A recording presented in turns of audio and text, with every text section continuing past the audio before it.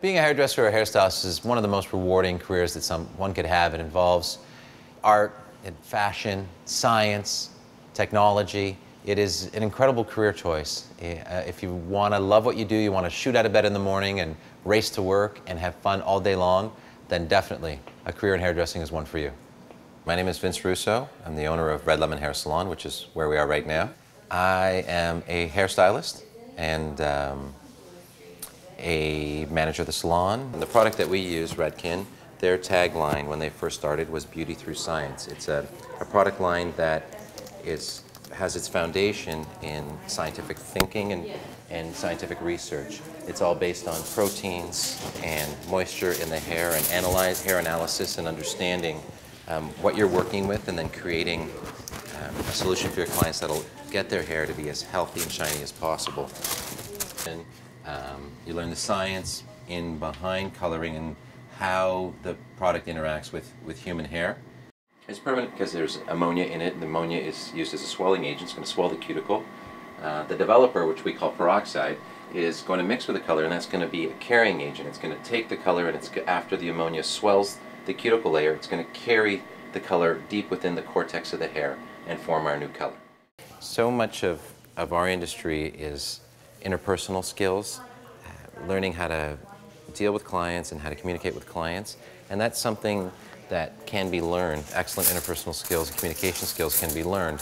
And it's my belief that the longer that you stay in school and the more education you get, um, the more life experiences you'll get, the better you'll be set to um, deal with clients and to help clients find solutions to their hair. So, you know, it, things like college and university are not wasted uh, in our industry. That'll just help you communicate better with, uh, with your clients.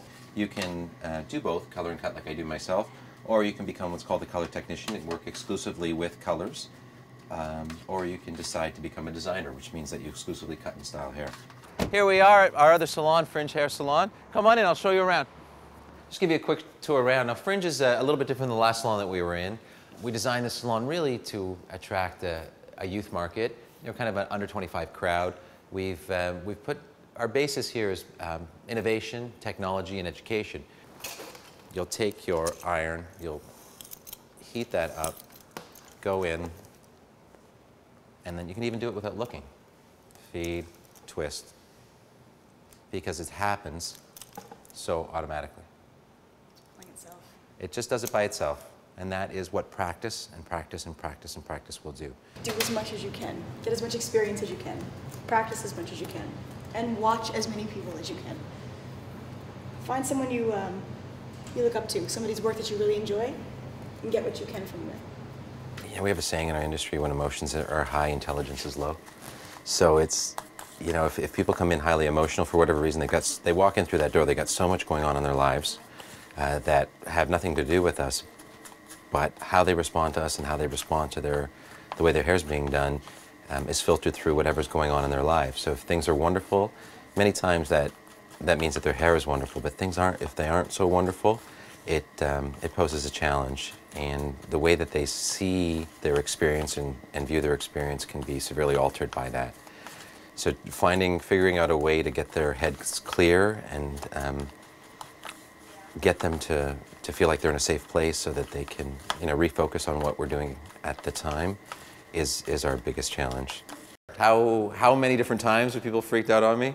It is, it's just the nature of our business. It, uh, it happens regularly when um, clients come in and they have an expectation of, of something in their hair and it doesn't um, go as well as um, you wanted. Like, you know, we're dressing hair today. I've had brides come in on their wedding day highly, highly energized and emotional and we do their hair, and things don't go so well. So tears, screaming, yelling, crying, it's, um, it just goes with the job.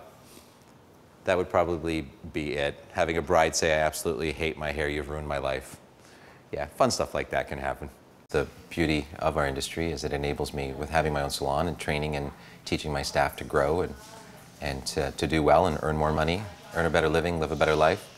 We, do we teach every single day. I wish that they um, come into the industry with a good, solid knowledge of the fundamentals of science, uh, math, English, that they have great interpersonal skills, that they work hard, they're dedicated, uh, committed to uh, work and into their lives.